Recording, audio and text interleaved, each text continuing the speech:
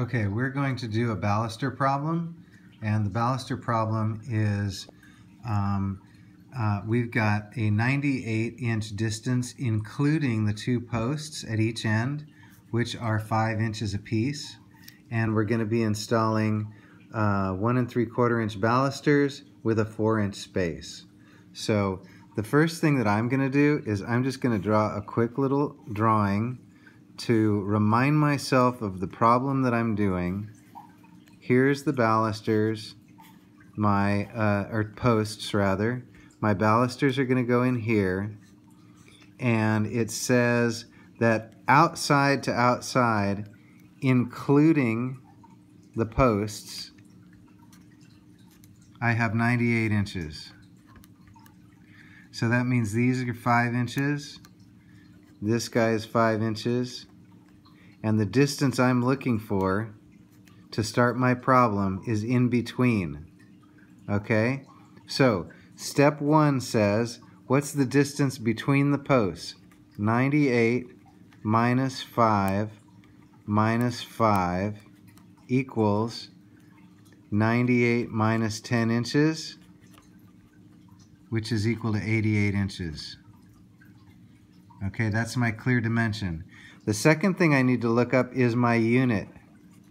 Okay, my unit is equal to my space plus the width of the balusters. One and three quarters is 1.75 inches.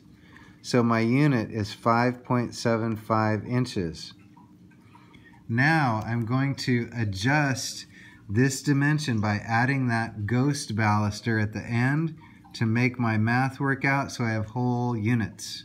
Okay, so I take my space between uh, overall of 88 inches that I found and I divide that uh, excuse me, I add my ghost baluster distance of 1.75 so that I can divide a whole into whole units, meaning that my adjusted length is equal to 89.75 inches. Now I take that adjusted length and I divide my units into my adjusted length. 89.75 inches divided by 5.75 inches equals, okay,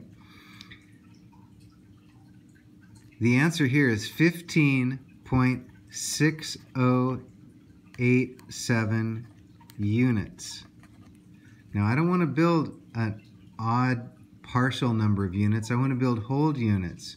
So step five says round up. Say 16 units. Okay? And then I'm going to go and I'm going to redivide. So I'm going to take that 89.75 inches and this time I divide it by the number of units I know I'm actually going to build. 16 units. And it'll tell me how big the space is actually going to be including the baluster. In this case, 5.6094 inches per unit.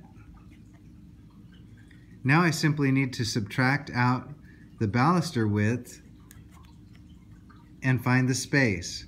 So I take that 5.604 inches minus, excuse me, minus 1.75 inches equals a 3.8594 inch space,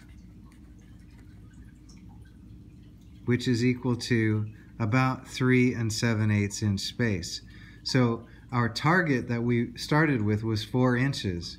We did this math to find out that won't work. We'll end up with too big a gap, and we're going to go with 3.7, 3 and 7 eighths inches as a, as a space. And then the final step is just to remember to subtract that ghost baluster that we added in. So we take our 16 units, minus 1 for the ghost, means we have 15 to install. And that is your baluster problem math.